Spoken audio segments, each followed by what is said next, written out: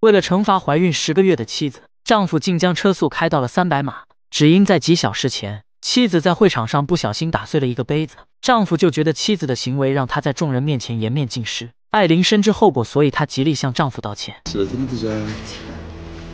丈夫虽然表面装作若无其事的样子，实则他的内心早已波澜起伏。而他的大男子主义不只是这样。当他们回到家里时，年仅五岁的儿子因为太饿了，在他没有入座前就先动手拿了食物。为了让儿子知道他是这个家里的天，他就命令儿子今晚不能吃饭，并叫他将晚餐全部丢进垃圾桶里。可怜的儿子只能端着食物在垃圾桶旁偷吃。而一旁的艾琳看着这一切，表现的是那么的有心无力。这天在男人出差后，艾琳收到了学校老师打来的电话。当艾琳赶到学校时，老师却告诉她，他儿子将一名女同学藏了起来。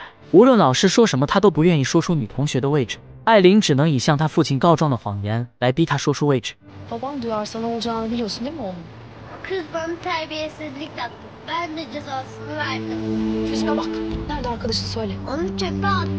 最后，他们在垃圾桶旁的垃圾袋中将女孩救了出来。回到家中，艾琳深深地意识到儿子已经开始受到丈夫的影响，变得不正常。她不希望儿子和腹中未出生的孩子变成丈夫那副模样。艾琳决定趁着丈夫出差赶紧离开这里。于是她一边打电话向好友寻求帮助，一边收拾着行李。就在好友们刚来到家里时，她的羊水却要破了。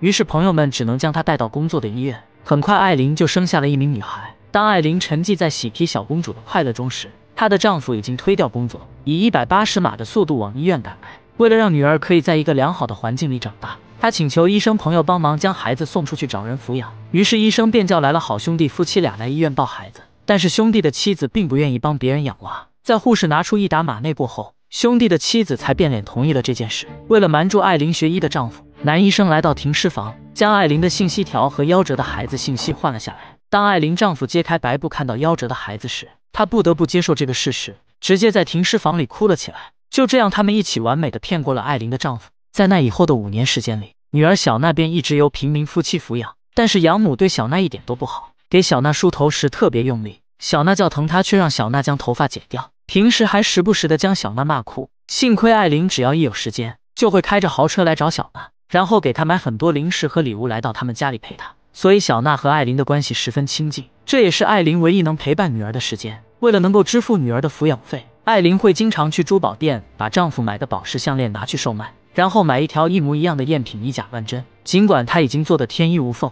但最后还是没能逃过丈夫的法眼，被发现。丈夫将艾琳的全部存款都没收了。由于经济被限制，艾琳给到女儿养母的钱越来越少，于是养母就开始动起了歪心思。她派人将依琳生下的女儿没有死的信息，用一万块的价格卖给了艾琳的丈夫。